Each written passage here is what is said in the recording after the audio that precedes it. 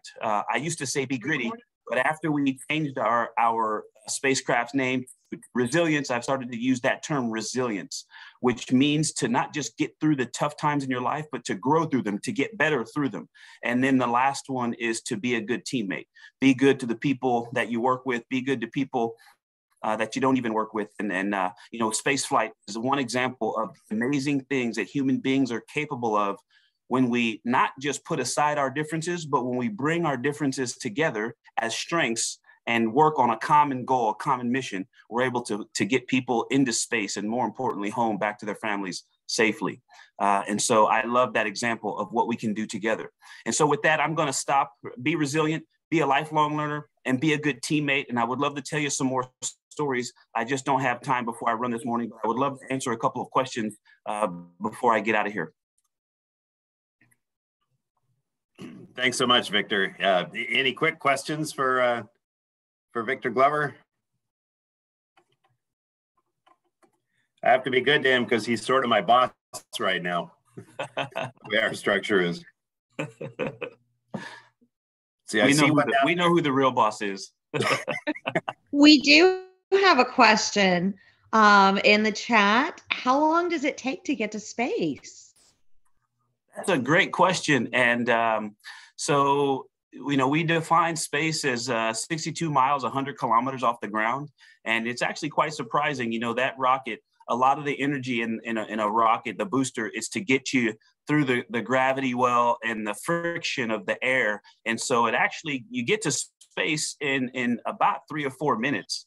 Uh, so we hit that, that Kármán line is the name of that 100 kilometer or 62 mile point. And if you watched uh, the Crew One launch, you'll see Shannon and I fist bump. We will, you know, bump fists with each other. She was sitting right next to me to my right, right when we hit 100 kilometers, because it's a great sign. It's a significant point. You've reached space. But yeah, you get there in about, you know, three to four minutes. But uh, it then took us another 27 hours to actually catch the space station and get to our home in space. But actually getting to space, the beginning of space, 100 kilometers, uh, was just minutes. It was just a few minute trip. Great question. Okay, so that we don't get in trouble with your schedulers, you got to go, man. okay, I wish I could stay on longer. I am. I'm going to run, and I hope you guys enjoy the rest of the event. Mike, thank you, sir, and you have the controls. All right, I got the controls. Have a good run. so, uh, yeah, I see uh, a bunch of students just arrived, and looks like they're all settled. And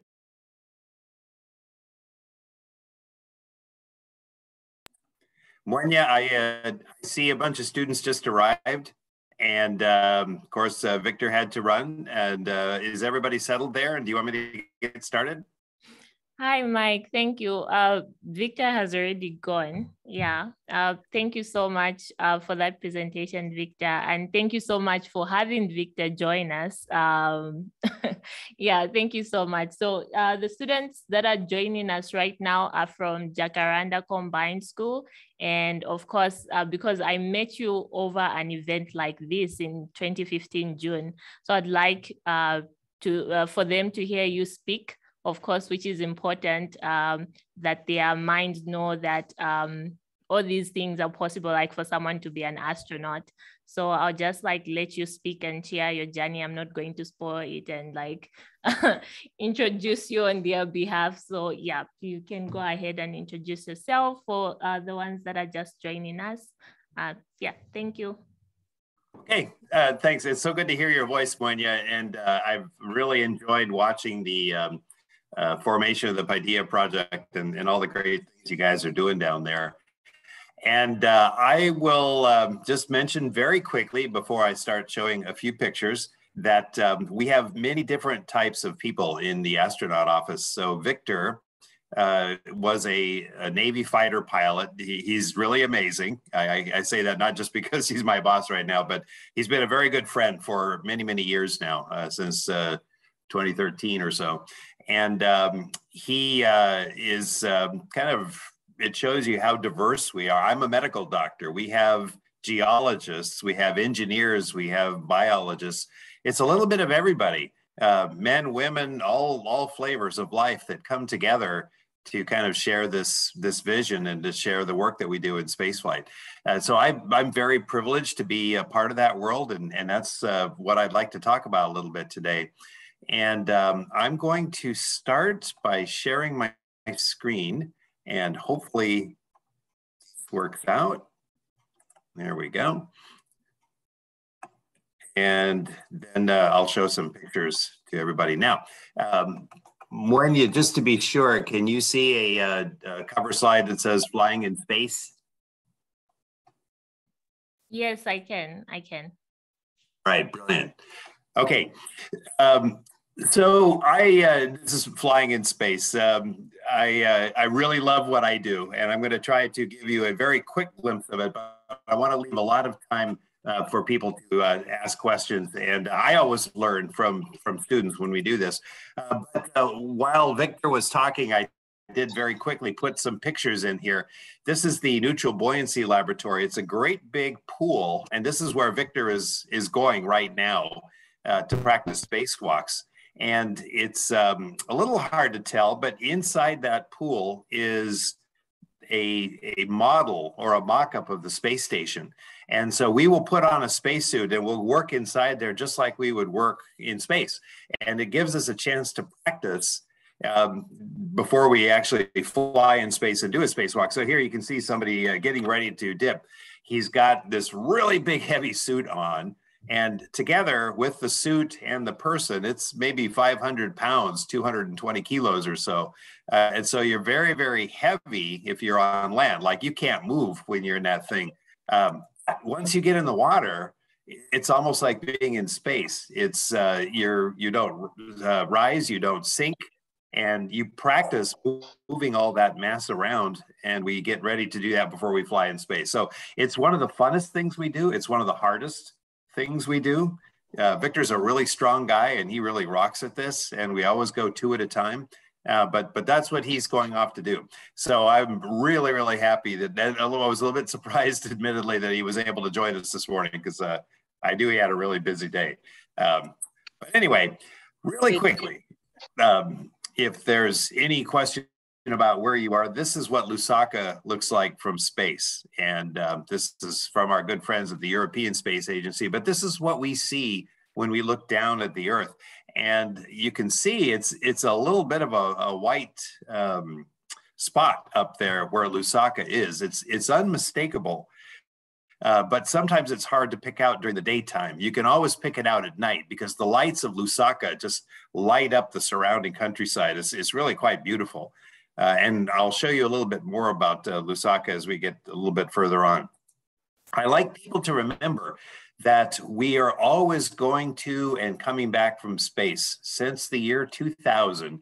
And I know that there's many people gathered in the room or in the chat room that weren't even born at a time that we didn't have people in space continually. So since the International Space Station came online in, in October of 2000, it's been permanently crewed with men and women from many, many different countries.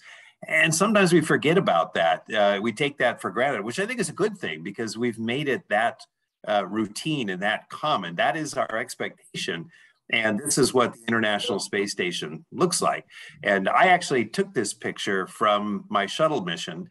And um, it, it, was kind of a special time because we had a bunch of different cargo vehicles up there and it made the station even bigger. And then when we docked our space uh, shuttle to it, uh, we became a really big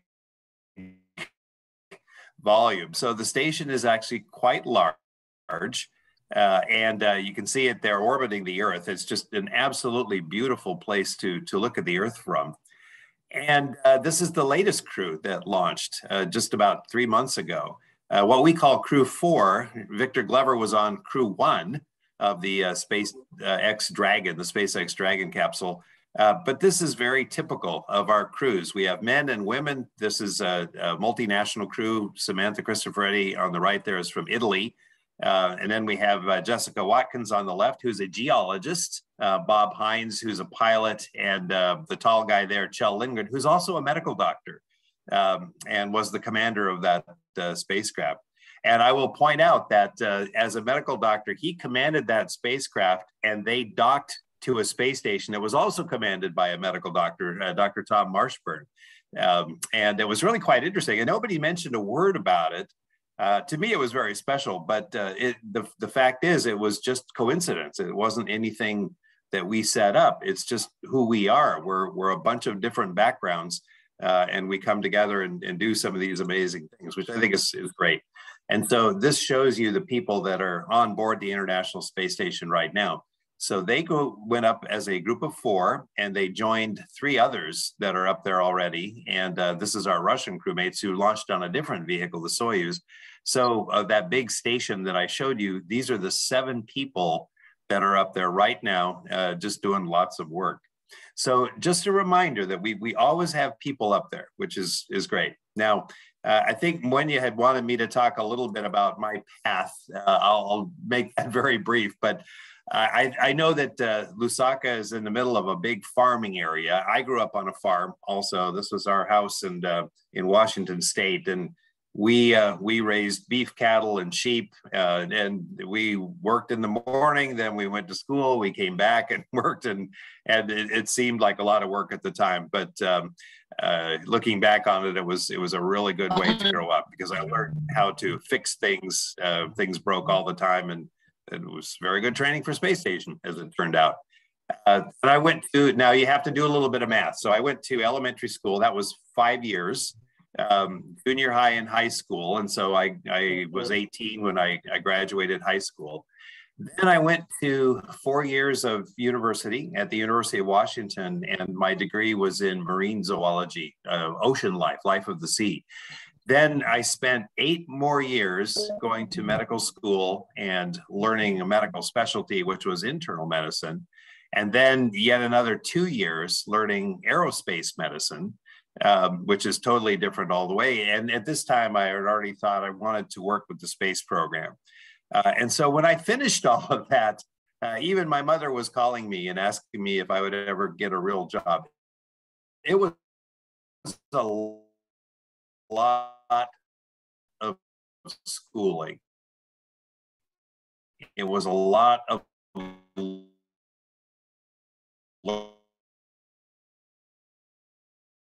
learning. Um, a couple of things working at the Johnson Space Center. It's hard to believe, but over 30 years ago, um, which is really quite remarkable. And uh, so this is the Johnson Space Center in Houston, Texas, very close to where Victor and I both live uh, it, it's almost like a, a, a school, really. It looks like a college campus, and it often feels just like that as well. So even though I finished all my formal learning quite a while ago, I still am learning every day, uh, which is great. In fact, I spent a lot of yesterday um, learning from teachers, from instructors, and I'll do a lot of that uh, as well today. So that very quickly is my path. Just to understand it was years and years, but I was really curious about what I wanted to do and, uh, and really loved it. So uh, that really helped. Um, a little bit about leaving the planet. So this is the planet Earth that you hopefully are all familiar with. Um, this was the day of my first launch. I'm there on the right. I, I had a Russian commander in the middle, Gennady Padalka, and on the left is somebody who actually paid a lot of money to fly with us as a, as a tourist, if you will, Charles Simonyi, who's Hungarian American. Uh, and so again, we were already a multinational crew, and I was the the one who was making my first flight. Um, this is what the flight looks like.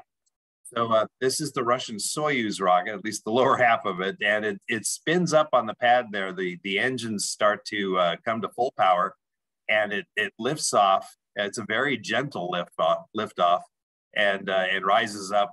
And this is launched from the country of Kazakhstan. Uh, which is really quite a, a, desolate place. It's in the middle of the desert, uh, but that's where you want to launch rockets so that when the some of the stages burn out, they don't fall on people, uh, or if there's any accident. But but frankly, it's just a great place to launch a rocket. I'm not sure. This is only showing the lower half of it. There you can see what the whole rocket looks like. It's actually very beautiful and it's a very gentle launch when it leaves the pad. Uh, but here we're starting to build speed. We're starting to build that velocity that'll uh, keep us in orbit. So we're starting to feel the G forces. We're, we're feeling heavy. Uh, and uh, it's actually a very exhilarating feeling after years of preparation and learning and getting ready to go. And this is what it looks like, the picture of it, the Russian uh, Soyuz rocket. And um, Victor mentioned that once you get to 100 kilometers, 62 miles, formally you're in space.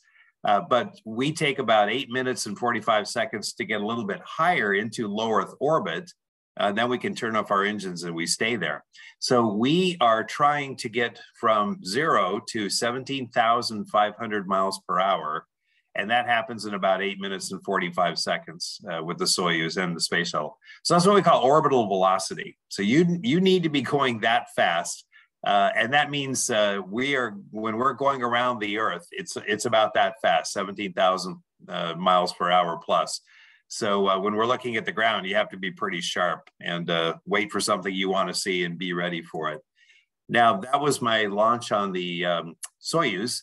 This was getting ready to launch on the space shuttle, and uh, this was my crew. There were six of us because the space shuttle was quite a bit larger. And so we could carry six or seven people and a whole lot of stuff, cargo, up to the space station as we did. And it was a great crew. Uh, five of these came from my class. So I got to fly with many of my classmates and uh, the commander there on the right, Steve Lindsey, who was the chief of the office, and we retired him so that he could fly with us. Uh, and we had a great crew. It was a lot of fun. And again, just men, women, people from different backgrounds from everywhere. That's kind of who we are. And this is what that space shuttle launch looked like. So here uh, you can see great big engines turning on, just roaring to life, and they fire for about five seconds, and then the big solids on the side, solid boosters light up, and off we go. And this one is not gentle at all. This was uh, very rough, very um, a lot of vibration, shaking, uh, but it, it, was just a great launch. You can see how big this thing is launching from Florida in the United States. And this is where the booster burns out and separates. So the booster falls away, and you can see us flying up into space. The booster goes into the ocean and would be reused, and then we would go up to our orbit uh, where we wanted to get that orbital velocity again. So very much like the Soyuz, the, this was the last flight of the Space Shuttle Discovery, we had to get to about 17,500 miles an hour. So that's pretty fast. Um, and if you uh, do a little bit of math, the Earth is 25,000 miles around. So you go around the Earth every 90 minutes, uh, which is pretty quick. That means 16 times a day. And if you were looking at the shuttle coming to dock at the space station, it, it would look like this. Um, looking down, you saw this great big spaceship coming at you, and you knew that it was going to dock with you, and you were going to see your friends pretty quick. Um, but it was amazing to seeing those spaceships together. And uh, this is what the Russian Soyuz looked at. So, like, so on my first flight, if you had looked from the space station as we were coming into dock, it would look like this. And the new spaceship that we're flying is the SpaceX Dragon. And that's what uh, Victor Glover flew actually as the first operational crew on this. So that was pretty exciting. It's a brand new spaceship. We've just been flying it for a couple of years now, and we're really excited to have another way to get ourselves into space. And again, this is where we're going. This is our destination, the International Space Station. And I hope that uh, some of you have had a chance to watch this go over there's there's many ways to find out when the space station might be coming over in the evening or in the early morning, so you could actually see it. Uh, but uh, it's very bright. It's like a, a bright, fast-moving star. And uh, I actually was able to see this from from Zambia, and your skies are clearer than ours. So we got great views of the space station from there. So uh, all of you should try to make an opportunity to see it. And this kind of shows you how, how big it is. So looking at a standard football pitch, um, we're, we're pretty long. We're actually longer than a football pitch. And you see those big flat sheets are solar panels that give us our electricity. And then the modules, as we call them, the places where people live are more in the middle. But uh, it's, it's a pretty good sized station. And what really changes for us when those engines stop and we dock with the station, we're in zero gravity. There's there's no gravity that we sense, and everything floats. And uh, I I use the slide of my friend Marsha Ivins to demonstrate that because you see her hair is everywhere, um, and uh, it's an interesting sensation when you first get there because it, it almost feels like you're falling in every direction. And so uh, myself on the left, Charles Simonyi on the right, who'd launched with me, and in the middle, uh, looking much neater than either of us, is Koichi Wakata, Uh, and he had already been on the station for a few months, so he looked great, um, and he was very adapted to space. But I'm holding on really tight because I, I feel like I'm out of control in zero gravity. It takes a while to get used to zero gravity, and, and this is what it looks like a few months in. So here I'm very comfortable. My hair's a mess, but um, that doesn't matter. I'm working pretty effectively every day, and I'm floating right in the middle of the module and I don't care. I'm not worried that I'm not sitting in a chair or that my feet are not on the floor. I'm very happy in zero gravity. And, and we become kind of zero gravity creatures, which I think is really interesting.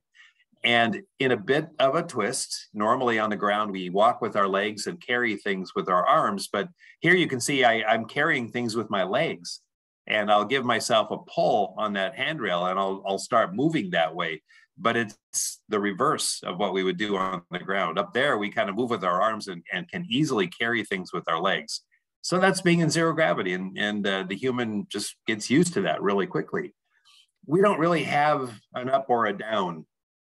So you can see my friend Christina Koch on the left and Drew Morgan on the right, and you could flip this picture upside down and um, then Drew would look upright, but it doesn't really matter to them.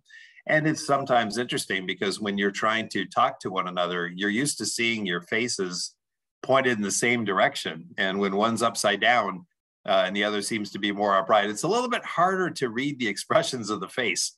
So uh, we we always find that amusing. Uh, if you make a really big wide smile, but you're upside down, it almost looks like you're unhappy. So uh, those are other things that you get used to. But mainly, uh, we're up there to do science. And um, this is, uh, as, as you saw, Victor Glover on the left and, and one of his crewmates, uh, Mike Hopkins, on the right. And this was from their mission. And what they're doing is science experiments. Uh, Victor is working on a, a, biological science lab, and Mike Hopkins is actually harvesting plants that we're growing up there. You can see both of these guys are really strong. We, they're, they're two of the strongest guys that we have in the astronaut office, and it's just by coincidence uh, they were commander and pilot of that mission. Uh, but the main point is that we we do lots of science experiments. That's mainly why we're up there. And every day you're doing new experiments and finding new things. And what I had mentioned, uh, Victor Glover had mentioned about being a lifelong learner, it, it all comes to sharp focus when you're on the station doing experiments and you're seeing new things for the first time every day, which is great. I will say another great thing is just uh, being with your crew uh, I had a great crew, both of my flights.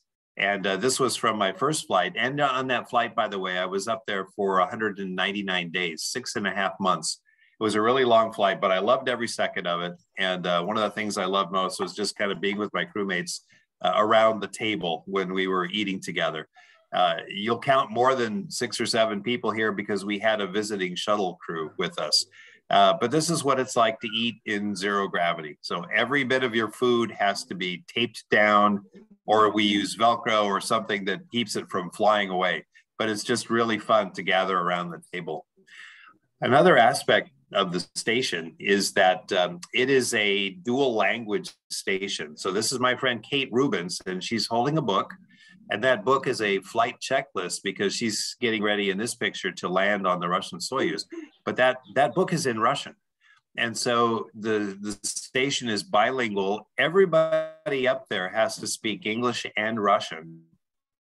And it's hard enough for us, uh, both from the US or from, from Russia. But if you're Japanese, you still have to speak English and Russian or if you're European, if you if you're from Germany, you still have to speak English and Russian. So it helps us to come together because we have to learn one another's languages. Uh, it, it helps us to operate. It helps us to understand each other. Now, because we're in zero gravity, uh, our bones and our muscles don't feel the same load or the same weight as you would on the ground, and so we we get weak. Uh, it's almost like if you were to lie in bed for weeks or months at a time, you would get weak also. Your bones and muscles really want to be loaded and stressed. So every day we exercise for two and a half hours. And uh, one of the ways we exercise, this is me doing a resistive exercise, uh, is we we pull. It's almost like lifting weights, except nothing weighs anything. So uh, we have another way to put that force back into the machine that we have here. And these special machines give us a really good exercise. So here I'm just doing a deadlift, uh, and it really helps. Uh, we we do pretty good at, at, keeping our bone and muscle strong. Uh, we also have bicycles. Um, this is my friend Karen Nyberg, who's also got wild hair and zero gravity. Um, but she's on a bicycle that's specially made for zero gravity. And you kind of have to hold on there because otherwise you'd, you'd fly off the bicycle. And then we have treadmills. Uh, and is, this is my friend Suni Williams, Sunita Williams, and she's running on the treadmill. But as you can see, she has um, straps and a harness which hold her down to the treadmill because there's no gravity. If she didn't have that, she'd just go flying off of it. Um, and Suni is a really good runner. She actually ran a marathon up there, meaning she ran 26 miles on that treadmill, uh, which was really amazing. Um, it's it's hard to do in zero gravity, and and uh, she's just amazing, and she did it. Uh, one of the things that we all look forward to is doing a spacewalk, just like Victor is going to practice now in the pool. Uh, this was me on the left and, and my Russian commander on the right uh, we were out there doing installing new antennas and fixing some things and pulling in some experiments and uh, it's probably the thing that we all look forward to most once we get up there is, is going outside to do a spacewalk uh, that was two guys this is two women uh, who were getting ready to do a spacewalk a couple of years ago uh, jessica meir and christina koch uh, as you can see, they're they're in the space station there on the left picture, getting ready to go. And those big things they have are are drill drivers, by the way. They look like weapons, but they're not.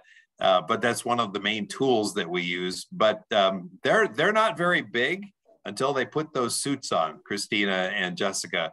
And you can see the suits on either side of them. And then on the right there, that's what it looked like when they were outside. So again, it's a it's a small human inside uh, a combined about 500 pound stack. You almost like your own little spaceship. Uh, but they were out there putting brand new, great big batteries, each one weighed about 380 pounds, uh, and putting those onto our power system. And they absolutely rocked it. Did a great job. One of the things that um, you notice really quickly when you get up there is that there's no borders. When you're looking down at the Earth, it's not a map, it is a planet. It's just beautiful, it's in its pristine state and you can't really tell where one country ends or another one starts, uh, except for geographic boundaries, rivers or oceans or coastlines or mountain ranges. And it's it's really an amazing thing to see the Earth with with no borders on it, and you realize, this, you know, we really are all one people. Uh, and that the earth is just magnificent, always changing. Different parts of the earth are, are very different from one another. This is two different views of the Earth just to show for comparison. But on the left, you see ocean, and that's two thirds plus of the, the surface of the, the Earth is ocean. And the right, you see uh, Western Africa, it's, it's desert.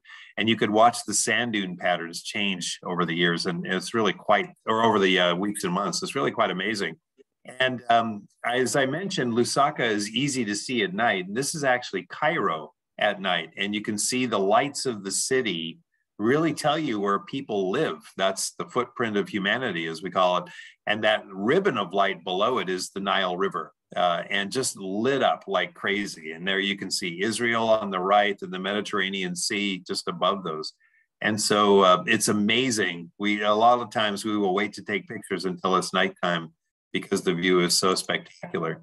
Now I'm going to show you a little bit more of Lusaka from space, courtesy of my friends from ESA.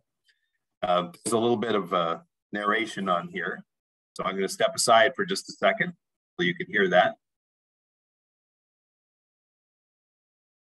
And there's Africa. And there's Zambia. And this is what we see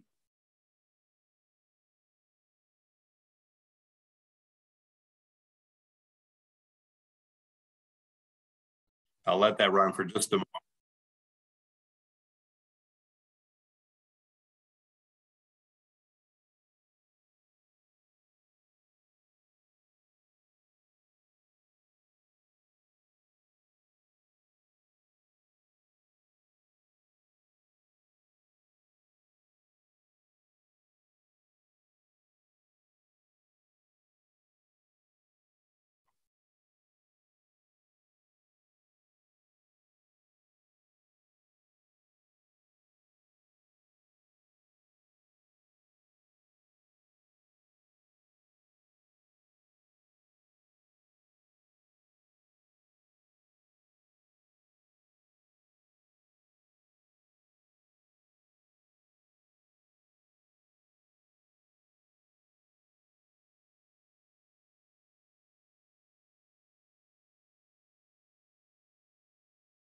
Okay, I'm going to just go from there. But um, the, the point being, when we're looking from space, we it's a very powerful tool to see what's happening on the ground, what's changing, what's natural, what are people doing.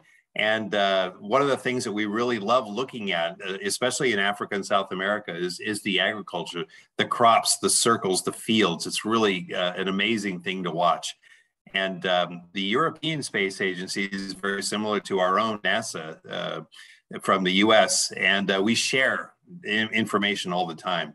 And what they showed from that satellite view is very much exactly like what we see from space. So it's it's really really cool to share that with you.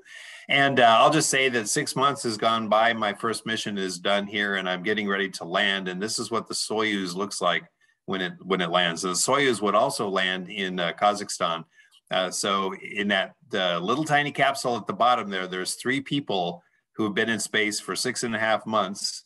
And um, we're not as strong as we were before we launched, but we're in pretty good shape. And as you see, we come down on one parachute. We fire some braking engines just above the ground, cloud of dust. Uh, and that's the little bitty spaceship that we are in. And uh, if you can imagine three people in that thing, it's very, very tight and cramped.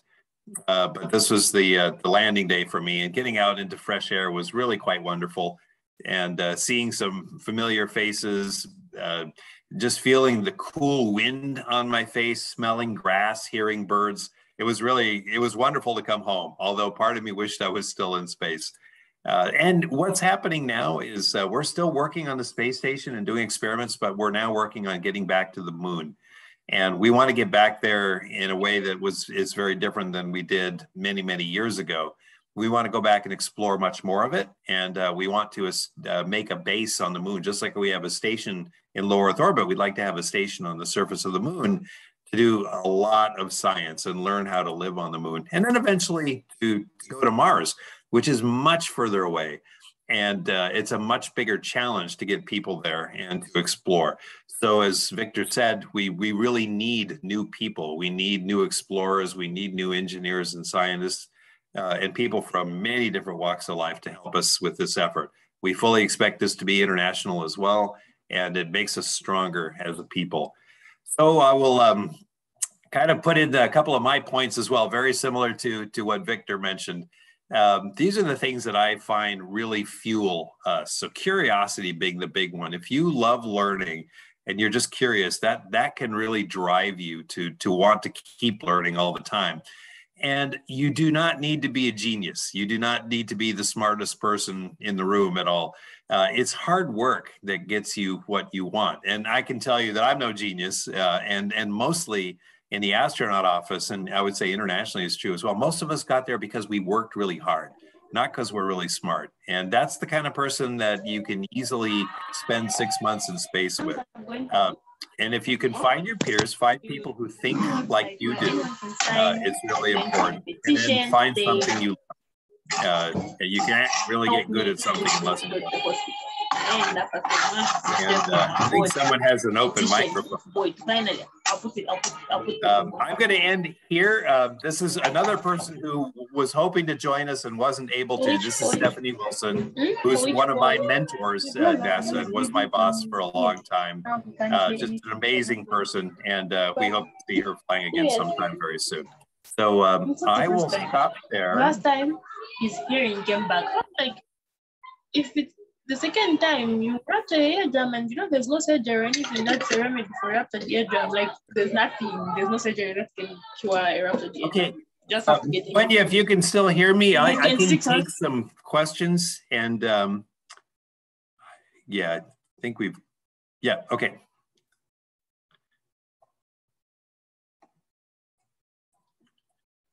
Okay, I can I can take some questions for a little bit if that works out.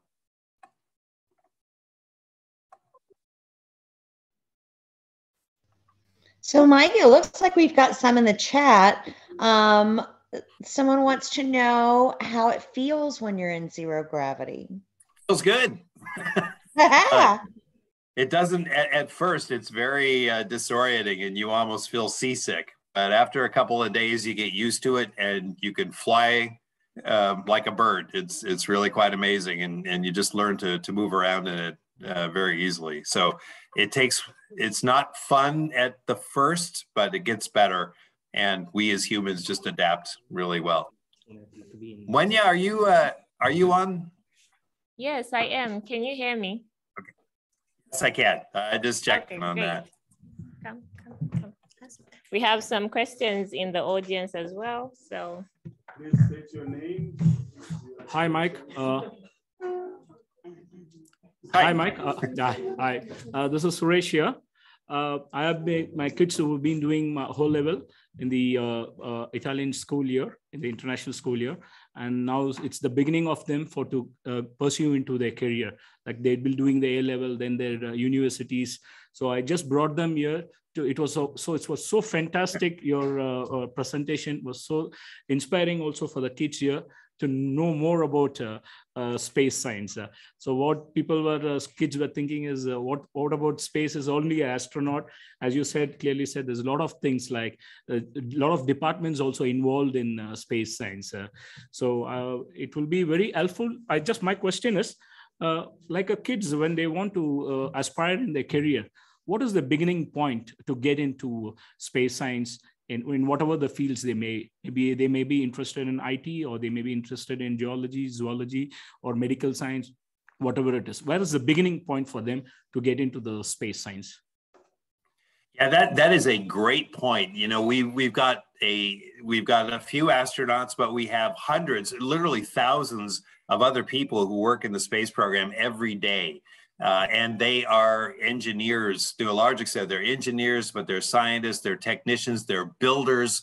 We even have artists. Uh, we've got IT people, as you mentioned. And every day with the space station program, we work together across borders, across international lines, across languages. Uh, and so there's people in all throughout Europe and Russia and the US, Japan, Canada, uh, and there's even some folks from Africa who work experiments in space. So it's many different fields to go. And so I would say the starting point um, is really you need to find something that's useful to the space program, and, and that's very broad. Uh, and you can find that just by by reading a lot more about space. But find one of those things that you really love, whether it's computer programming or um, even artistry with with space or engineering is, is one of our big things or building things uh, and get really good at it.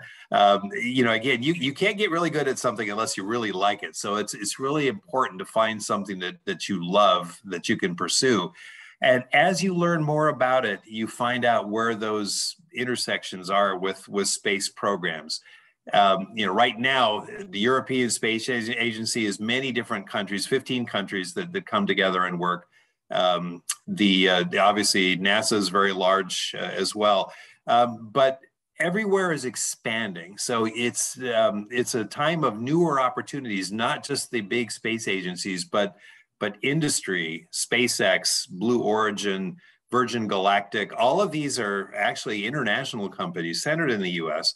But the opportunities for the people listening here when they're finishing with their education are going to be so many more than they have been in the past. So you will be able to work in, in the spaceflight industry in ways that we haven't been able to for, for many, many years. So find something you love that's, um, that's useful to the space program or to space exploration, get really good at it. And the, the further you go in it, just learn as much as you can about these, the agencies, the international programs, and the companies who are doing this work um, and and the opportunities are expanding. There's, they're growing like crazy. Well, that's thank you so much uh, for your information.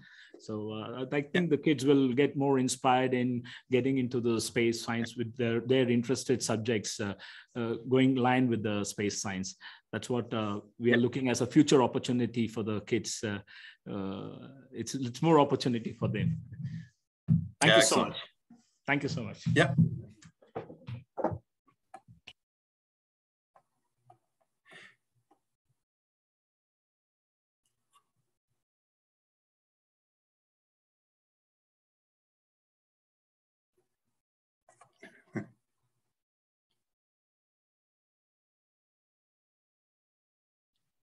I see you there. You can, uh, do you have a question?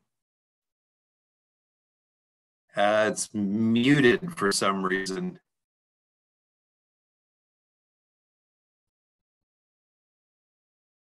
Yeah, sorry, don't hear.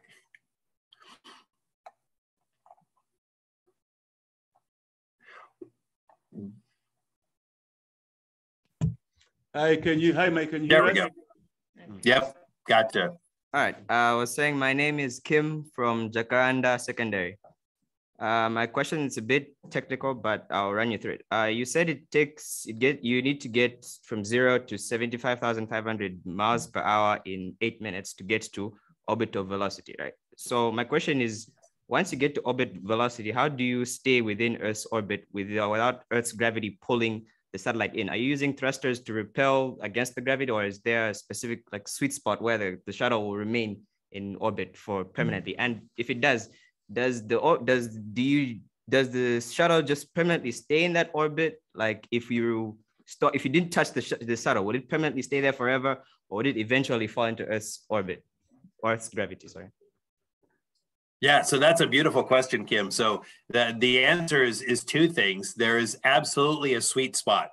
So uh, when we say more or less 17,500 miles an hour, uh, it- we are extremely exact about the speed that we need to be going for a certain altitude. So for instance, at the space station, uh, it is about 17,243 miles an hour or so. Um, and if you go faster, your orbit gets higher. If you go much faster, you you'll go flying out of orbit. You'll head to the moon or somewhere. If you go slower, your orbit gets lower, and then you start intersecting the atmosphere, and drag with the air will pull you down. So it is a sweet spot. Um, but the other part of your question is also true. We continually have to thrust um, because even at the altitude of the station, there's a little bit of atmosphere which drags us down. So every year we actually have to keep boosting the space station to, to make sure that the drag of the atmosphere doesn't bring it down. So if we did nothing to it, it would come down. If we did nothing to the space shuttle, it, it would come down as well. But once you get up there, it takes just tiny little thrusts to stay in orbit. But that's a great question. All right. Thank you for answering, Mike. Yeah.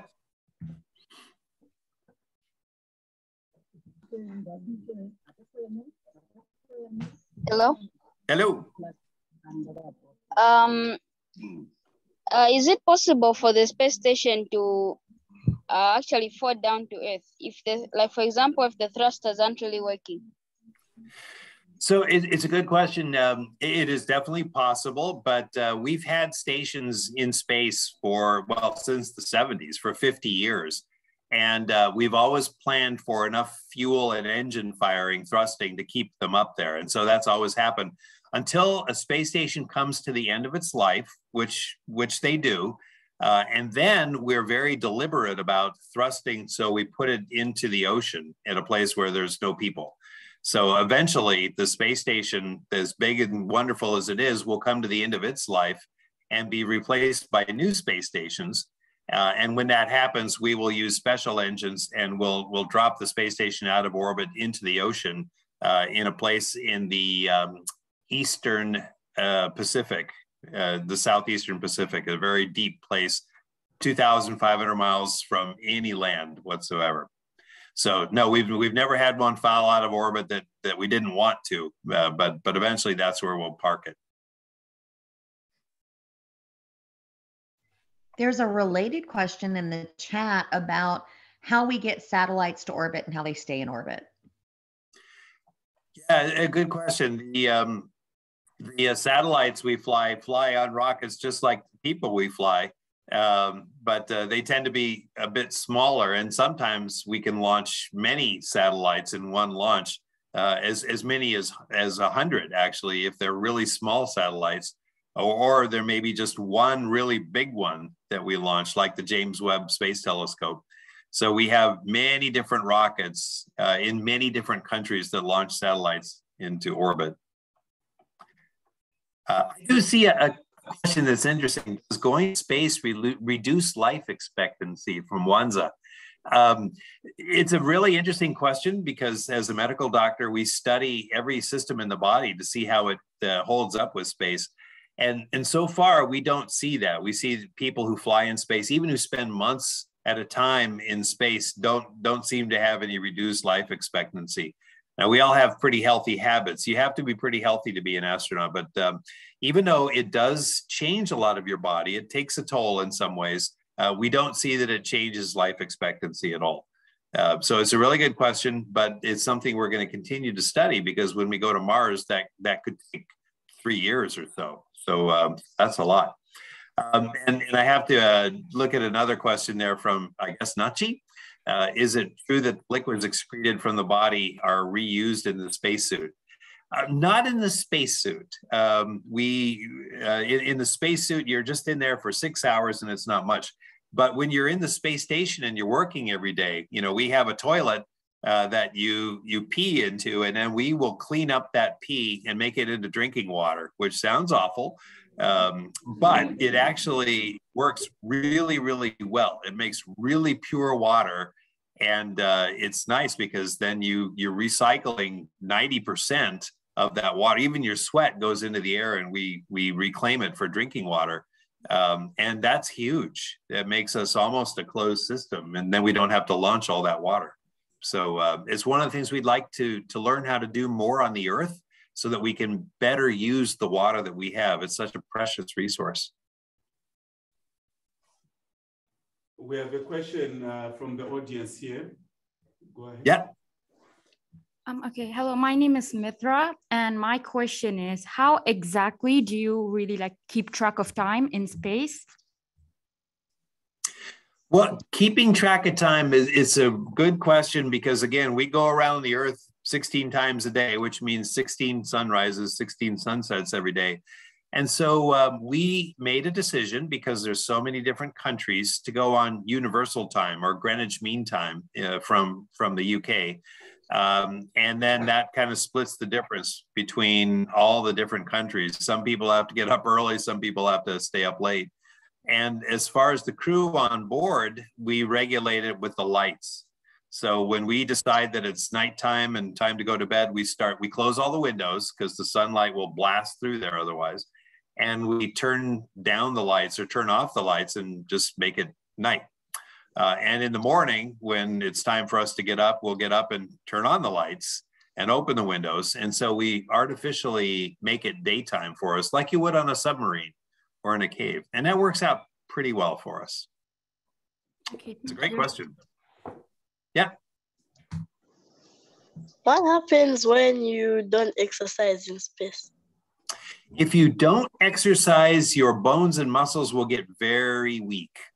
And, um, and your heart also will get weak. And so when you come back from space, if you don't exercise, you'll be like a bowl of jello. It'll be hard to move, hard to walk, everything gets hard. So we don't do that. We, we've never had people in space without the ability to exercise. So a good question. Okay, Thank I you. see another one. Uh, thank you. I see another one queued up in the audience. Go ahead. Okay, uh, my name is Limpo. I would like to find out, I've seen a lot of um, videos showing spacecrafts, are they rockets? I don't know the technical terms, going out to space. But I've never seen how they actually get out of space, coming back to Earth. Uh, so I've always had a question. Well, yeah. I've always had a question. I know they there's always burning out that goes on. So how do you just manage to cut to cut through and get back Yeah, you know, it's a great question because uh, um, when we launch into space, we have all the cameras and videos on the ground, and you can you can see it happen. When we come back from space, there's no cameras up there to watch it happen. So uh, it, it leaves it to, to question, uh, leaves it to imagination. But um, here's what happens. So, excuse me. When we launch into space, uh, it's all rockets that make us go through the atmosphere and go that fast. Um, but when we come back, we have to slow down from 17,500 miles an hour to zero. We have to do everything in reverse.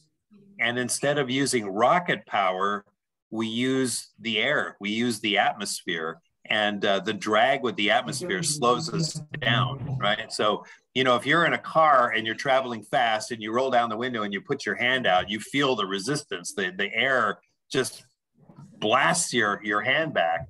And it's the same with us. When we're coming screaming through the atmosphere, the force of that air slows us down. And uh, we can do that in about seven minutes or so, almost the same amount of time it, it would take to get up into space with rocket power. But instead of rocket power, we use the air to slow us down. And the friction makes it very, very hot. So you may have seen some videos of almost flames and, and sparks coming off the spaceship as it comes through the air to slow down. And that, that is real. It gets really, really hot right outside the spaceship. Uh, but it works. Uh, and uh, when you come screaming through the atmosphere, by the time you're um, maybe a few tens of thousands of feet above the ground, you're just dropping straight down. You, you've lost all of that speed, that orbital velocity, and then you can put your parachute out and, and land softly. So uh, that it's a really good question. But rocket power going up to get going fast, air resistance coming down to get going slow.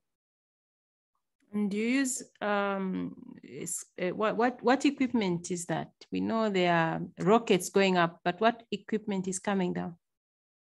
When we come down, the most important piece of equipment is called your heat shield, and uh, we we talk about our heat shields all the time because that that means we can come home. The heat shield is what um, first meets the air as you're coming through.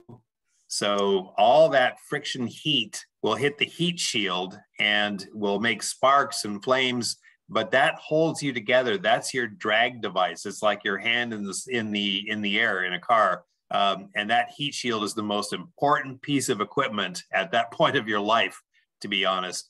Uh, you don't want to turn the spaceship so that the uh, the rest of the spaceship is in the direction you're traveling because you'd, you'd burn up. So you always want the heat shield. That's your most important piece of equipment. Once you've um, slowed down enough, then your your second most important piece of equipment is your parachute. That's what pops out and drops you very gently onto the ground with the Soyuz or into the ocean with the SpaceX Dragon. So heat shields and parachutes, those are the main ones. Thank you. Welcome.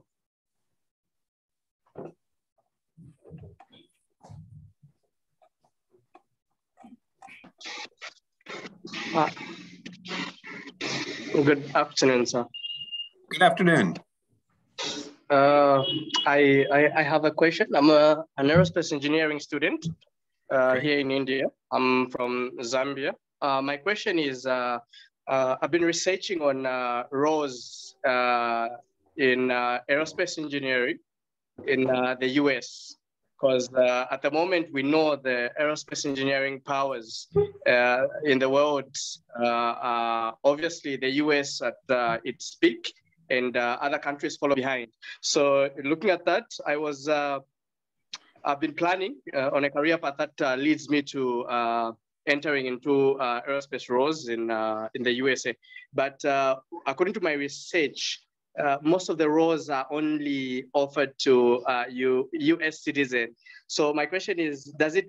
Be, be, I don't know if, uh, if, the government considers uh, the, the the space technology uh, such as SpaceX, NASA, and so on to be high technology that has to be kept away from others. So I don't really know um, what can a person like me who's studying aerospace engineering and uh, wants to join uh, such organizations do in order uh, to get one or two roles uh, in uh, those specialized companies?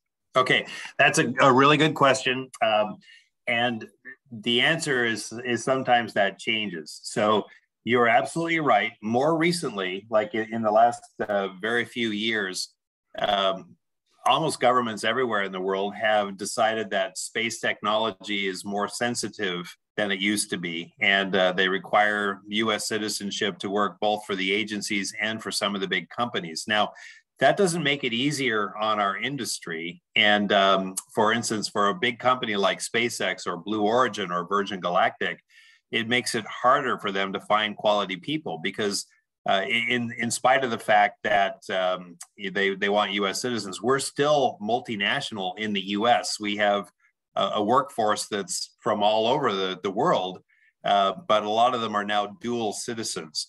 And so, one of the, the pathways that people take frequently, and I know many at SpaceX are like this, is they will come from another country Um, and uh, they will actually do research for a period of years before they are either awarded a green card or citizenship. And, and most of them are dual citizens from, from uh, different countries. Um, and that research gives them two things. First of all, um, you, you, it's easy to have access to do work at a university like that, but it also gives you connections to the aerospace industry. So that's a big thing. But the other thing is that it, it gives you further tools, further educational background that makes you more valuable to the aerospace industry. And then they do extremely well when they come out and uh, and look for places to work. So in fact, a lot of people at SpaceX are, are exactly like that. A lot of people at NASA are, are exactly like that. Um, having said that, it, it, it, could change again. It, it, it could be easier in a few years um, if we relieve some of these because the fact is a lot of this technology is so widespread right now. Many different countries launching rockets um, that um, you know it's it's not so secret as it as it used to be.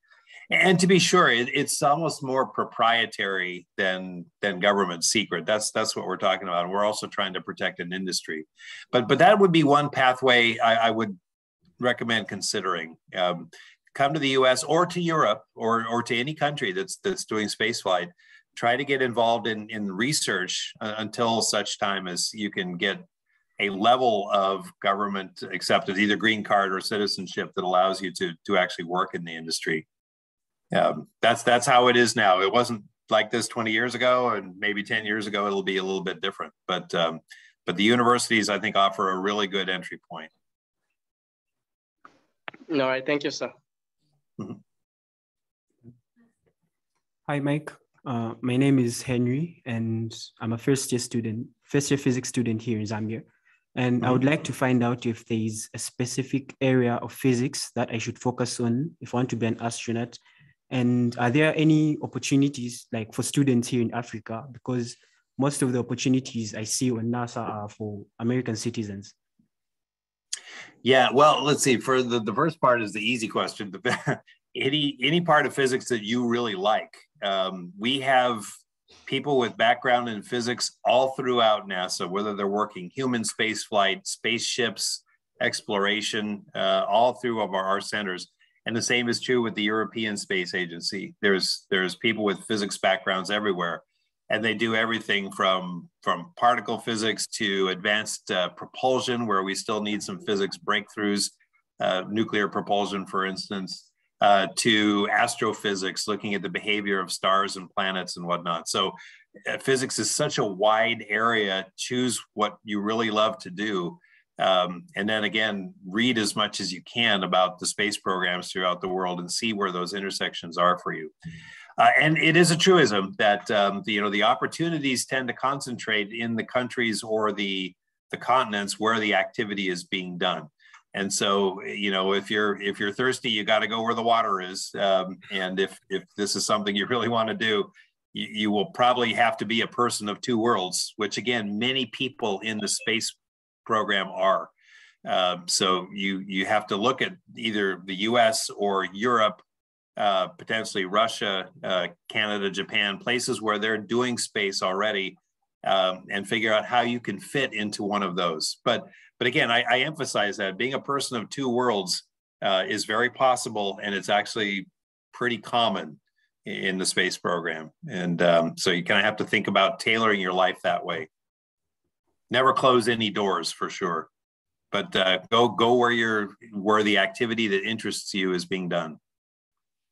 Right, thank you. Mm-hmm. Uh, how do balloon rockets go into space when they don't move at the same speed as real rockets? Because I've seen many videos of rockets, homemade rockets using balloons to go to space. Using balloons? Mm-hmm. Giant balloons. Ah, okay, okay. So yeah, um, that's that's a really interesting question right now because um, we've got these big balloons that are going to carry people um, and really to the edge of space, not quite as high as as uh, meets the definition of space, which is 100 kilometers, but pretty high. And they will take people in uh, these special balloons that are massive. They're huge. Um, and you'll be high enough to see the curve of the earth, the blackness of space, Uh, and you'll really get an experience of space in a way in these balloons. Uh, they just, they take many hours to get up there and many hours to come down, not quite to space. And they're not traveling at orbital velocity because they don't have to. They literally can go straight up and come straight down, uh, which is really quite amazing because they never really escape Earth's gravity. But um, I have some friends who are working at a company that are getting ready to take people in these big balloons to the edge of space. We'll call it that. So good question. Thank you. Yeah. Okay, I see Hi. another person. Yeah, go ahead. Hi, my name is Sarah, and I would like to know where you like get oxygen when you're in space for you in order to breathe. Yeah, that's a good question. So uh, we have a, a, a few different ways to get it. We can take tanks of oxygen, high pressure oxygen, and um, we can breathe that. Um, but the other thing is I mentioned that we recycle our, our urine and our water. And if you take regular water and put some salt in it or some electrolytes, as we call it, and then run electricity through it, it gives off oxygen, which we can breathe, and hydrogen, which we, we vent overboard because hydrogen goes boom if it burns. Um, and a lot of our oxygen now comes from that. We generate our own oxygen on the space station by, as we call it, cracking water. We, we turn water, which is hydrogen and oxygen, back into oxygen to breathe. Um, and that water comes from either tanks of water or the sweat that we reclaim in the air or the, the urine that, that we uh, give off. So uh, it's pretty cool to be able to make your own oxygen up there and know where your next breath is coming from. So good question. Thank you. Hmm?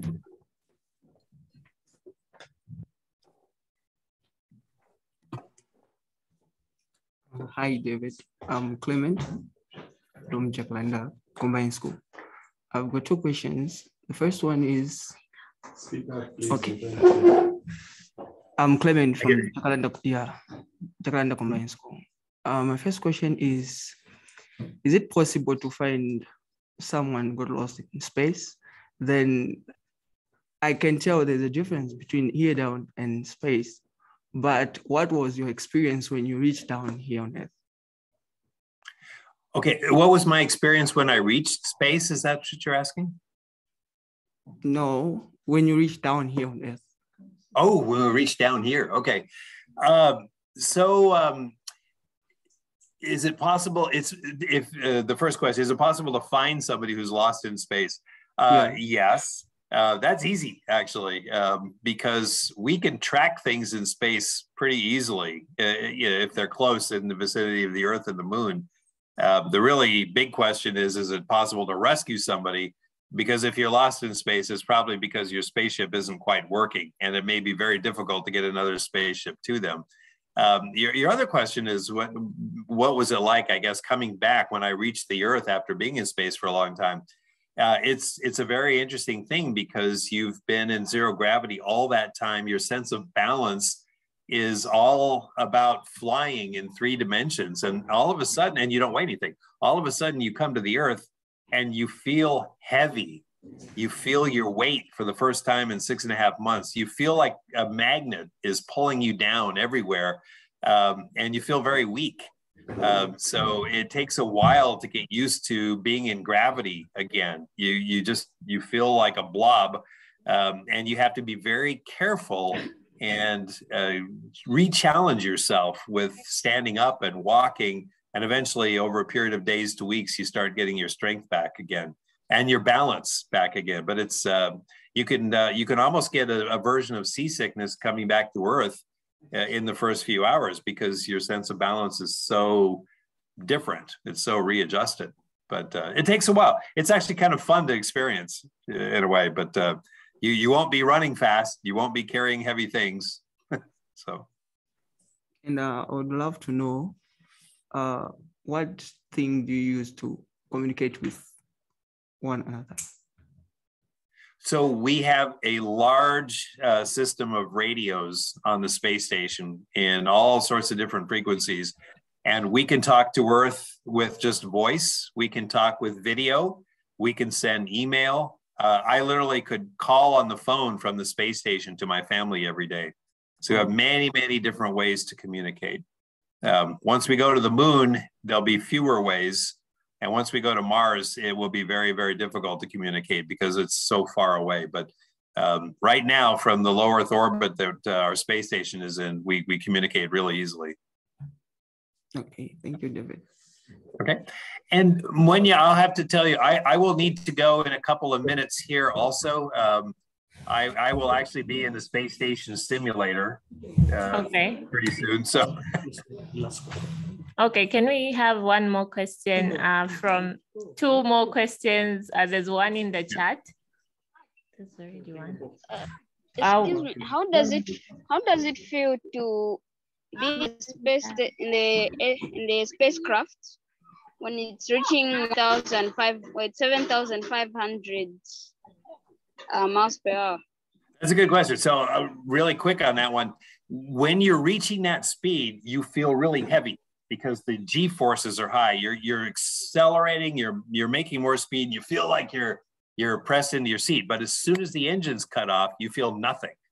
So you go from weighing three times your body weight to nothing, and that that second that that happens is is just really really strange. You feel like you've been hung upside down because fluids came up in your head, uh, and all of a sudden you're floating. So that moment. Bye. How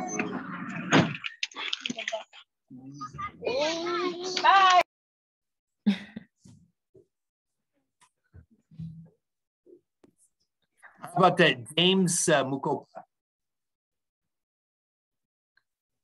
Sorry, Mike, what are you saying? Uh, I see a, a hand raised from James. Yes.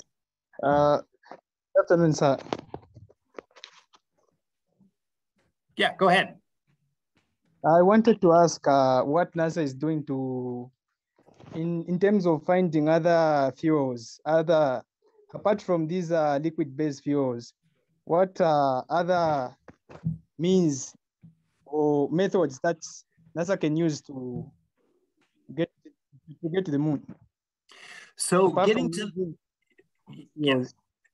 Um, so uh, getting to the moon is, not too difficult from fuel standpoint. Um, what we're really interested in is can we use fuels at places where we want to explore? So if we go to the moon, we know that there's ice up there in the form of water. And I mentioned that we can make oxygen and hydrogen out of ice, out of water. Um, but we can also use oxygen and hydrogen for rocket fuel. We can burn them. So we'd like to have a spaceship that runs on liquid oxygen and liquid hydrogen because we can make it on the moon and we can use that to come home or to go further into the solar system. And the same is true on Mars. So um, the fuels we have now, kerosene, oxygen, they work really well, methane. Um, but uh, we'd really like to be able to use oxygen and hydrogen. And then eventually to go to Mars, we'd like nuclear engines so we could go faster because it's a long, long way. Um, Mwenya, I think I'm going to have to just take one more question, Okay. and I, Okay. I will leave it to your leadership to uh, to choose. Did you?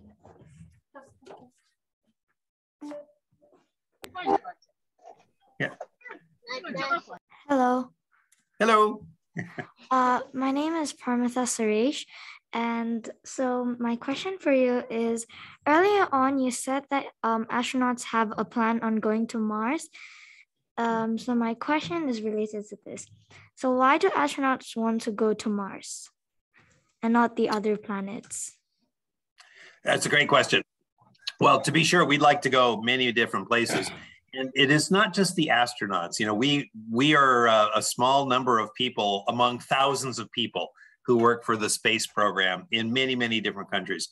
We want to go to Mars um, because it's very Earth-like. When you look at all the other planets in the solar system, uh, the one that looks most like Earth is, is Mars. And so we can learn a lot about our planet by, by what has happened on Mars. Um, and Mars is very interesting for so many reasons. And one of the most interesting questions that we have that's an open question is whether there's any life on Mars. We want to know if there's anything alive there and what it's like. Um, that would change everything to know that we're not the only place of life in the universe, quite frankly. Just knowing that one of our close planetary brethren has life would be huge. and we, in general, would like to see ourselves moving out through the solar system to explore, to colonize, to, to utilize resources. Um, and Mars is a very logical place because we could easily see ourselves living there with the, there's lots of water ice, the gravity is probably good, there's no atmosphere, uh, so we would have to provide that. But um, it's part of our whole plan to explore and to colonize and and to kind of reach out as a civilization. It's it's a survival tactic in a way, uh, but mostly from our standpoint, it's all about exploration. So, Mwenya, I'm sorry, I'm going to have to stop here and um, and uh, go join my people, my crew. Oh, thank you so much for having yeah. us. There are so many questions, even right now. There, someone who attended. Sorry, yeah. So after um, we're going to have some few minutes with Kim. Uh, once you're gone, so that she can take on some more questions. But oh, thank oh, you so much for having us. Hope we can do something like this again. Because as you can see, there are people that still want to ask you questions, even though yeah. you need to run. So hopefully we can have something soon. Okay, well, absolutely, we can do something again, and, and we'll try to have a few more of us on on the line. The more, the merrier. So yes. Okay. Thank okay. you so much for thank having so us, much, Mike. Mike. All right, you. it's my pleasure. You guys all take care. We'll see you. Okay. Thank Thanks, you. Mike. Have a great day. Okay. Bye bye. Okay. Okay, Mwenya, how would you like to proceed? Should I take the ones from the chat or do you have some live ones? Yeah, there's um, some people like here. There's some people here that want to ask. Uh, we can get someone from the audience uh, before we go to the that ones sounds in the great. Okay.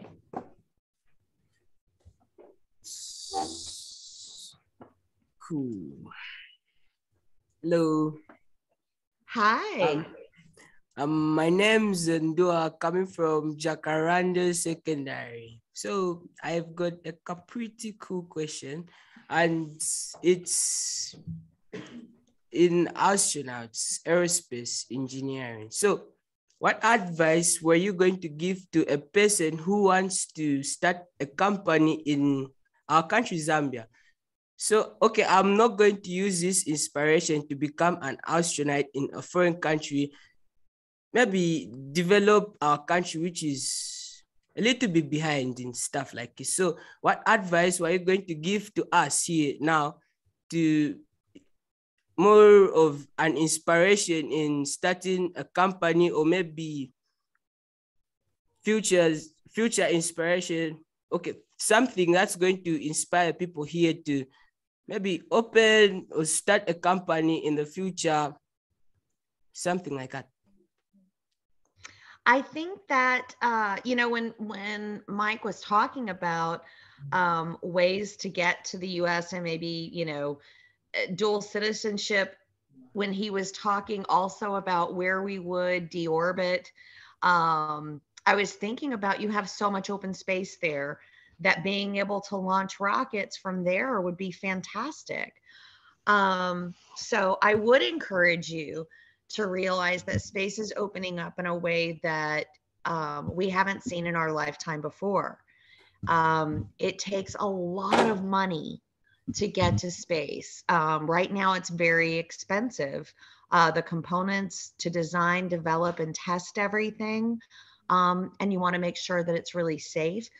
But it's it literally could be done anywhere. So I would study what the entrepreneurs have done to start some of the new the new independent companies. So look at SpaceX, look at at Blue Origin.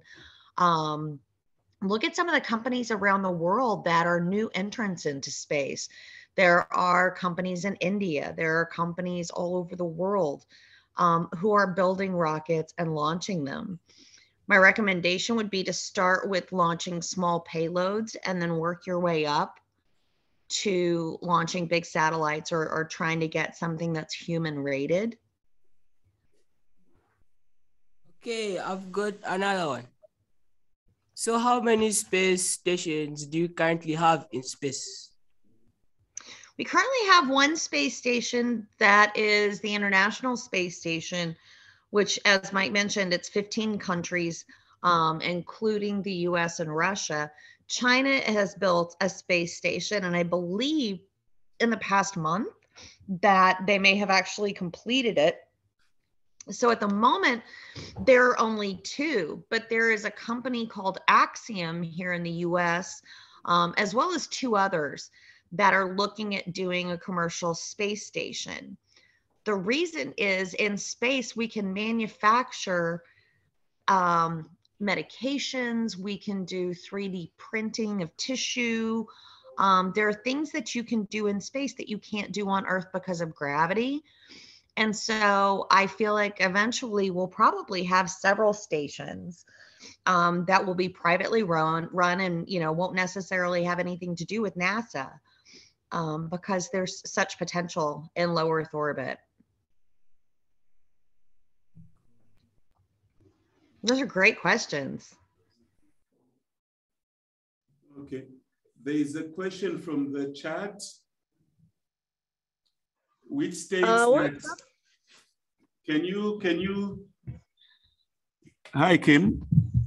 So there's a there, there's a question from Noah, Noah Sichivula, who wants to know how long do you think it is before space mining is practiced internationally? It's a great question. Um, timeline wise, I'm trying to keep up with what uh, what we've got planned. Um, I think the first lunar launch is scheduled for later this year. Um, it's probably going to be a couple of years before we actually send people.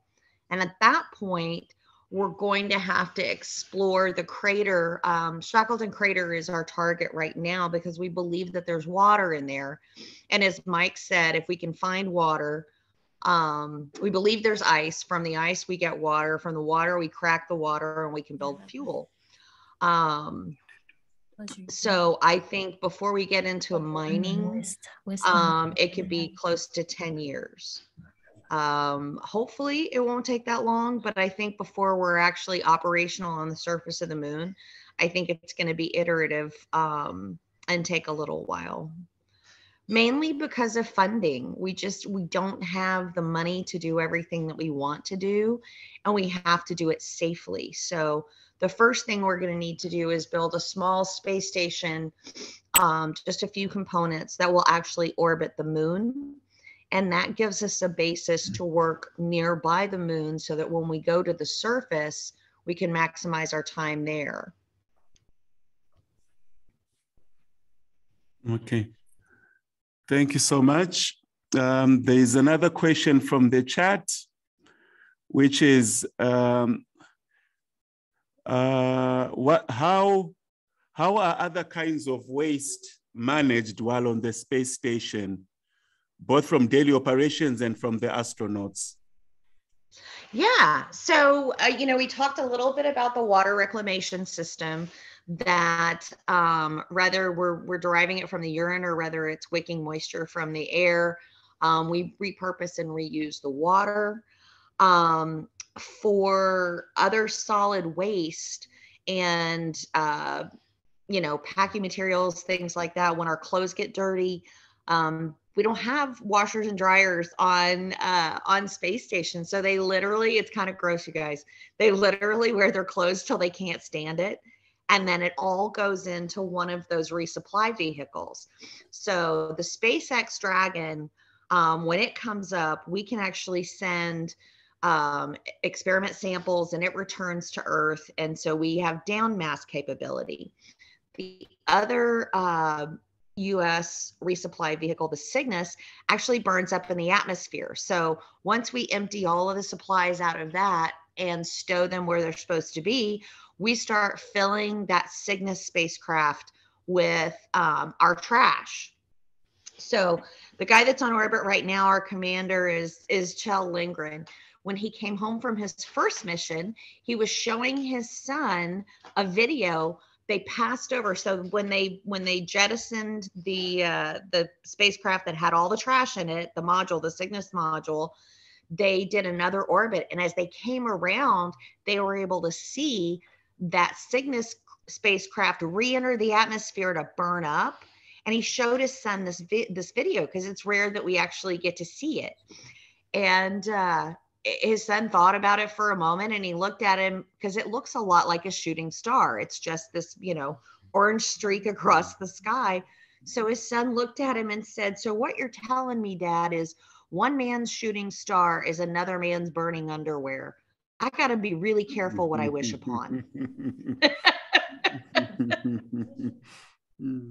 so that's how we get rid of the rest of the trash. It burns up in the atmosphere. And that's, you know, when Mike was talking about deorbiting space station at the end of its life, most of that is going to burn up in the atmosphere. And what doesn't will sink to the bottom of the ocean and become um, an artificial reef. I've got a question. What happens? What happened to the space station MIR? Space Station Mir, that's exactly what happened to Mir. So that was the Russian space station. And toward the end of its life, we started doing joint operations with the Russians.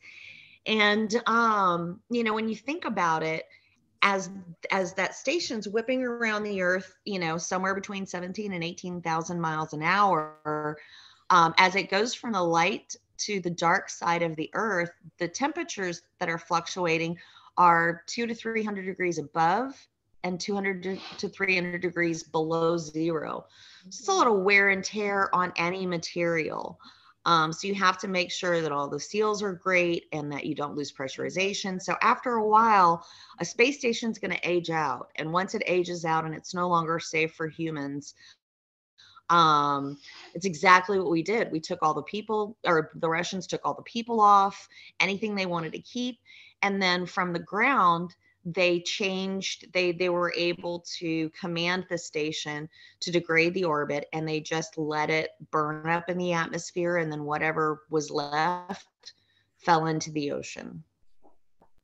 Thank you. Okay. We have uh, two more questions uh, and then we wrap it up kim. So the next question Sounds goes great. okay Hello, Kim. Um, my name is Miracle, and my question is, how do you eat in space? how do you eat Yes. Uh, pretty much the same way you do you you do here on the earth. Um, except for the fact that they tell me that it's impossible not to play with your food because it does float.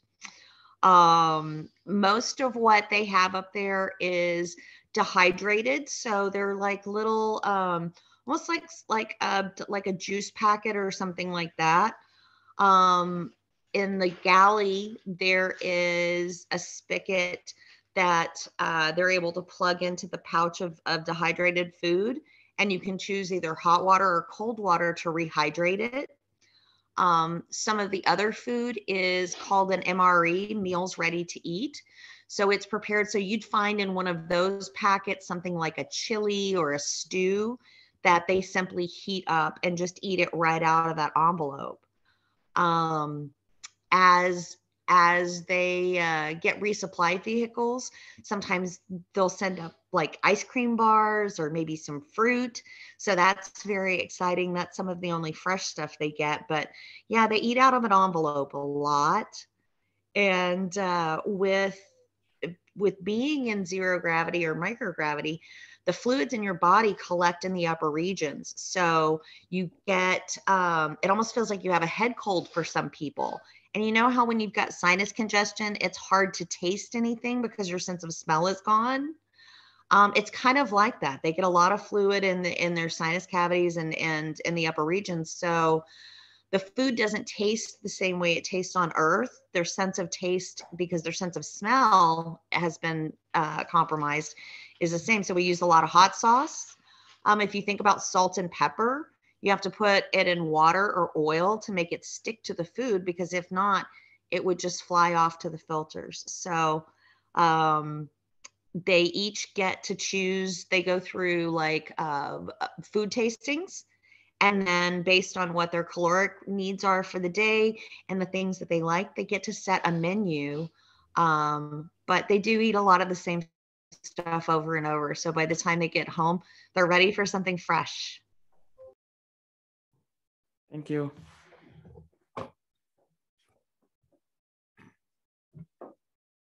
Uh, hi, my name is Daniel Musonda, and I wanted to ask how, to, how can you advise someone who wants to be an, astronaut?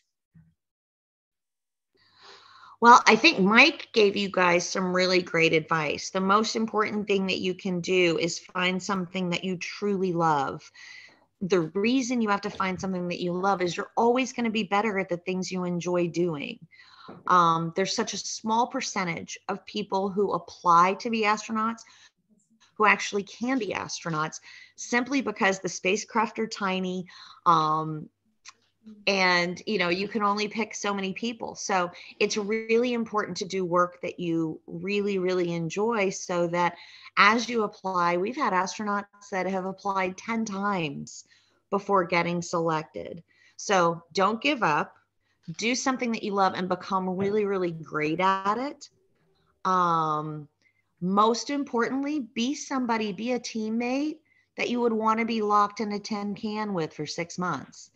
Um, if you are somebody who's good with your hands and very adaptable, like Mike said, our astronauts come from all different backgrounds, but a couple of things that they all have in common is they learn quickly, they're good with their hands as far as repairing things, um, and they have great, bless you, great teamwork skills.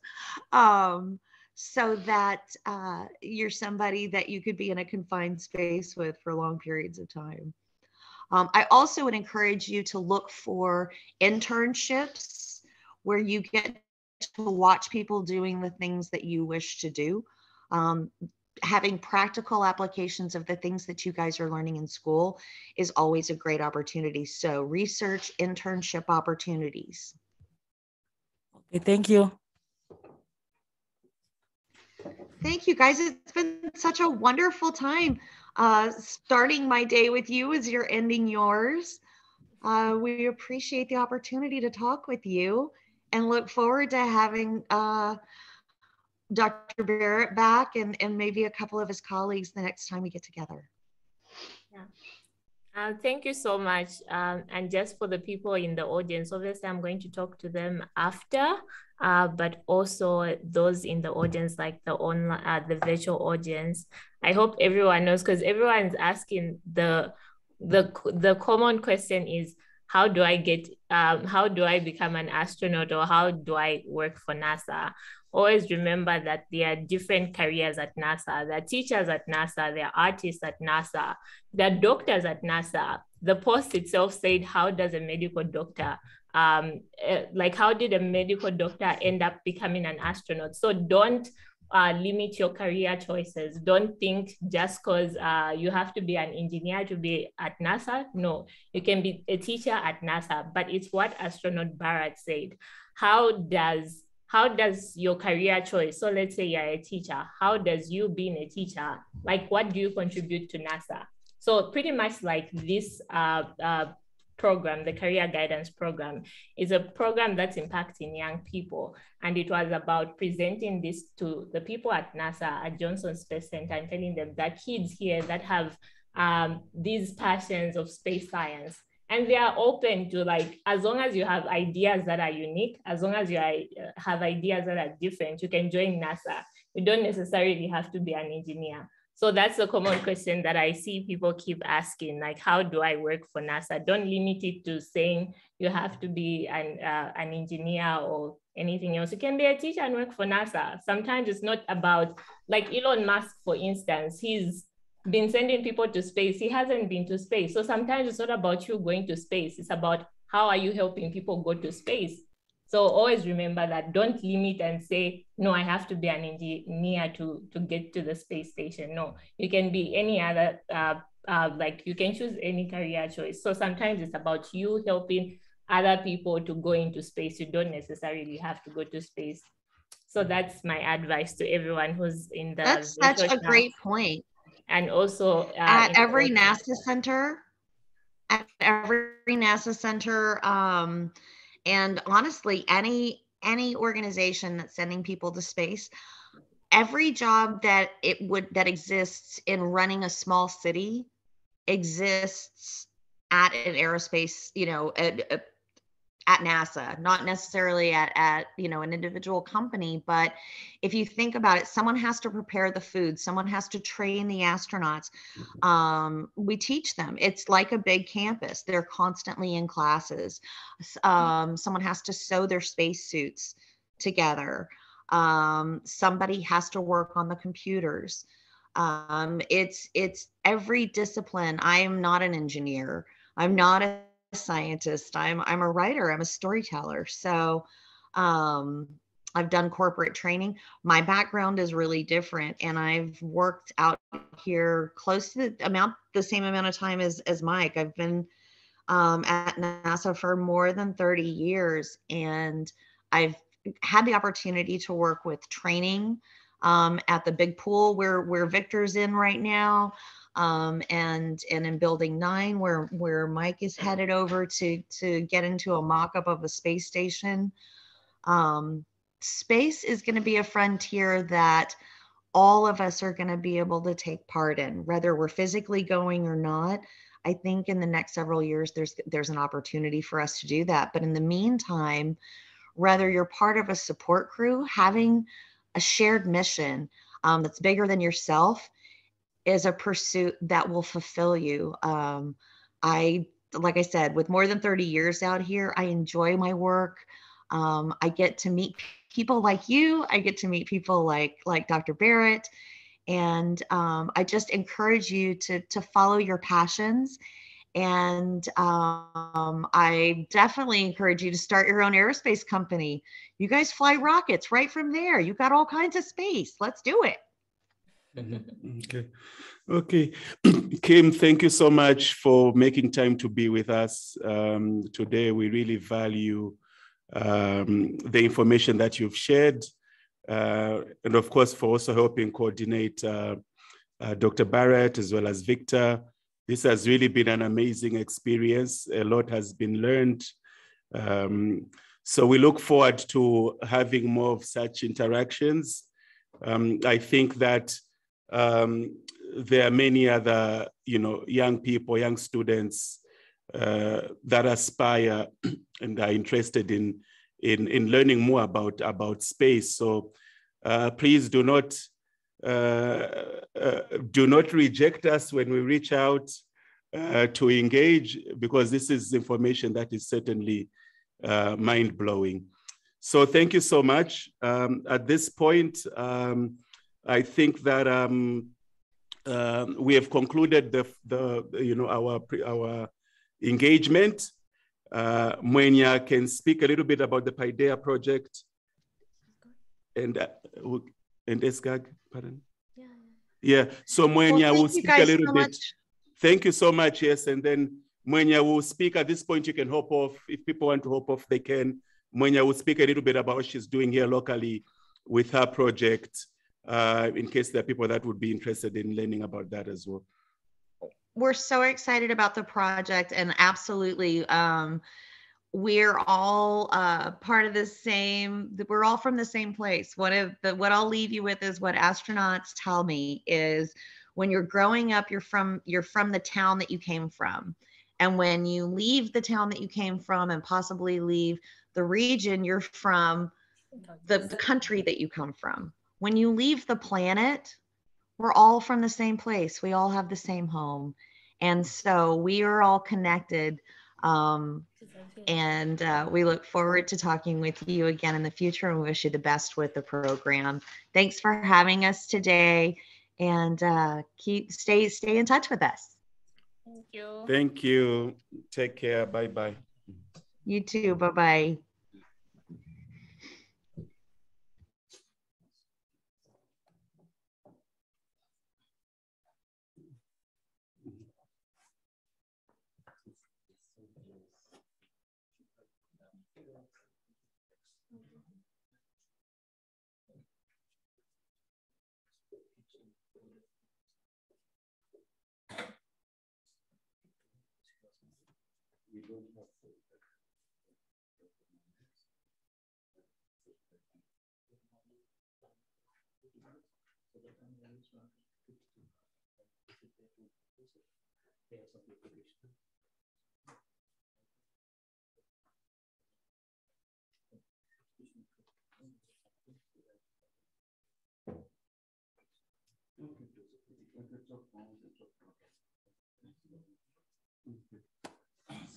So Mwenya, you can share with um, Okay, I'm not going to say so much because like I know you guys have to go because your driver is almost here. But um, uh, thank you so much, firstly, for coming here, um, for being part of this. Uh, I didn't even know this was going to be possible. I pitched the idea at NASA uh, in February, and of course, I slated it for July. So thankfully, they did um, come on board with this. Uh, so I'm thankful that you guys did um, did uh, come through. I just want to say that I, I had a common question, which is something that I said. Um, most of you were asking how uh, uh, how can I be an astronaut? I was in I was in grade one when I said I wanted to be an astronaut, and I changed to being an um, astrophysicist to being an aerospace engineer. But throughout my journey, um, what what made me change career paths from like being an astronaut, astrophysicist, and like aerospace engineering was that I started uh, realizing like what contributes to my country. What can I do that contributes to my country? And that's what started shaping my career path because it wasn't just about me. And even though, yes, up to now, uh, of course, I'm not yet an astronaut. I mean, I studied actuarial science, so, which is like mathematics. Uh, if those uh, for people that don't know what actuarial science is, it's just a lot of mathematics on computers and on paper. But then, what you always have to ask yourself, like from a background like ours in a third world country, or let me not say third world country, but like a developing nation, always ask what's going to contribute to your overall community, and that's what defined what my career choices were. Because I said, okay, I'm going to be an astronaut, and then what? I'm going to be an astrophysicist. I'm going to study constellations. And then what? I'm going to be an aerospace engineer. And then what? Yes, aerospace engineering, at least when it comes to like right now, we see the airport has changed. Yeah, that changes. But right now, of course, like the Paideia project, it's a, it's a project on education. And this is what helped make this possible when it comes to like having this guidance talk um, uh, with like impact in you guys. So see, I'm not yet an astronaut, but I can still talk about all things astronomy. So many questions that you are asking, I could actually answer them. But I really wanted, uh, of course, astronaut Barratt and Kim to answer them. But there are questions that I have um, that I could answer as well. So just because I'm not an astronaut doesn't mean I can't still talk about space science. So you have to think like that. Always think about what's going to help my community better. Same thing that astronaut Barratt was saying, you don't have to be the smartest in class. You don't have to come out number one. You can come out number five, it doesn't matter. What defines you is how hard you're working, how hard are you working to contribute to your community? And that's what's going to get you to work for NASA. It's the same thing that I keep on saying. It's not about you going to space. Like he was saying, a lot of things when it comes to going to the International Space Station, you have to be an American citizen. Are you? And how are you going to be an American citizen? So sometimes it's not about going to space. It's about you could actually help with sending people to space. So don't limit yourself. The moment you say no, I, yes, you want to be an astronaut. Yes, you can be an astronaut, but also think about how can I contribute to my community? So always think like that, because the moment you think about going to space, then you're going to limit yourself. So what do you provide? How is it unique? See, just telling uh, the guys at NASA saying there are kids that want to hear about space science, they were on board. So people are open to hear your ideas. They just have to be unique, they have to be different, and you have to work hard. I'm not an astronaut, but I work hard. I make sure I'm always studying about space science. I'm always keeping in touch with my mentor, who you guys are, were privileged to hear. So there are so many opportunities out there. Don't limit yourself and say, no, I want to be an astronaut. No, think about what's going to help the next person, what's going to help you. So, and what's going to help you? This is what I thought will help you. And of course, hopefully in future, we do more of this. So that's why I can say, um, I'll keep in touch with your teachers uh, to make sure that there are collaborations when it comes to uh, career guidance. Um, and just not just this, not just um, not just um, when it comes to uh, um, uh, space science, but also other careers. There's so many careers in this world, and there's so many ways you can change the world. So um, I guess that's that's it. That's all I can say. Hello. Hello. May I just say something? Yeah. Who's, oh, who's uh, this is uh, this is uh, wisdom, as uh, I earlier stated. Uh, Sorry, there's, wisdom. there's something Sorry. about Sorry, wisdom.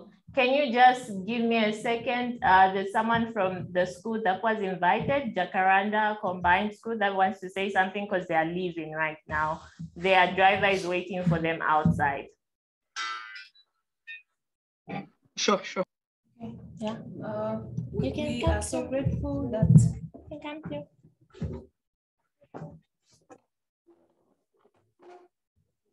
we are so grateful that you you had time to house us here. We are so grateful as a school, the young people gathered here. This is just a fraction of our big school. We could have come the whole school. So these were just a few that we handpicked. Um, they obviously love science.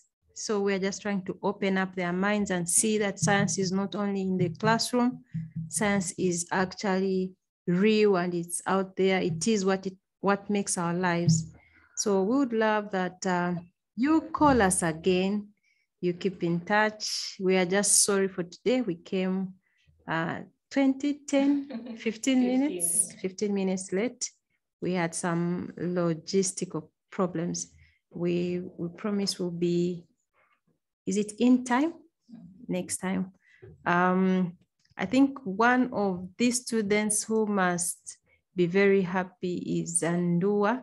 He would keep coming asking about velocity, be- keep asking about the G suit and hey, I would ask, what's a G suit you? So he says he, he, he is thinking of some ideas. He's trying to put up some ideas to, to do a Zambian G suit. So please help my boy. He wants to make Ndua. Oh, okay. Yes. So I'm very happy. At least the, just tell him he's welcome. Okay, yeah, yeah. I, I'm supposed to talk to you after concerning another event. So Okay. yeah, we'll, I'll come through. This is not the end.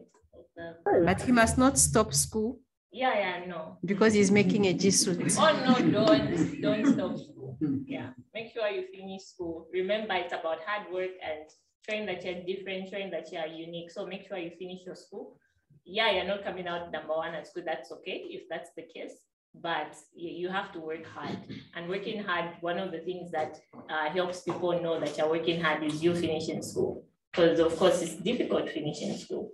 So work hard because that's of course a pointer to someone who's accepting you. When they see that you have your grade 12, they see that you have gone to a tertiary institution, then you're telling them that you actually have the will to work hard.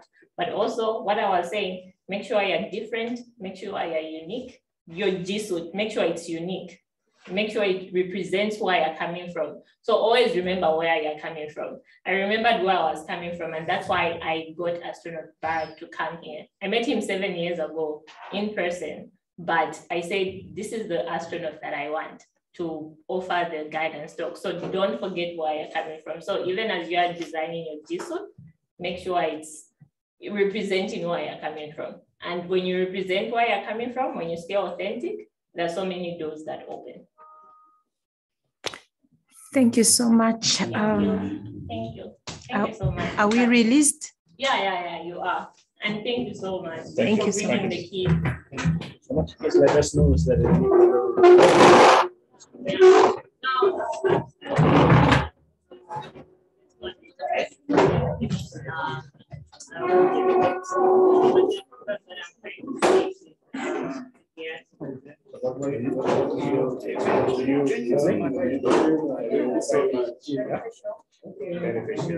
It's very new for them. They learn a lot of all. For me, I'm very old, but still I learned a lot about space. This is very new for me. For my own self. I think it's take, I think it takes the things from the things aspire to to be in such organization. So much.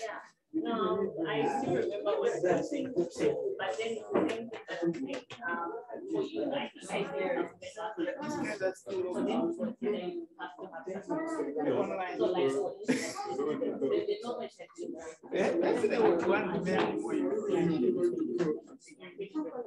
This is what's been happening. Unlike just going in and saying. Thank you so much. Thank you so much. Thank you so much. Okay, So yeah, we'll, um, keep in touch. let's yeah, let's keep in touch. I Yes, think whenever you're thinking of those kinds of travel, yeah, we can uh, get you know keep you in touch with someone that can can Guide help us you on on that case. Definitely. Thank At least so we much. have this communication with them. leave, now. that will keep guys more interesting than when Absolutely. hearing, seeing is more. Yes, experience, yes. So yeah. you can almost touch it. Yeah, You can touch Feeling the is much easier. Absolutely. yeah. Thank you so much. All right, you're welcome. Thank you, sir. Thank you so Thank you. much. All right, take care. Mhm.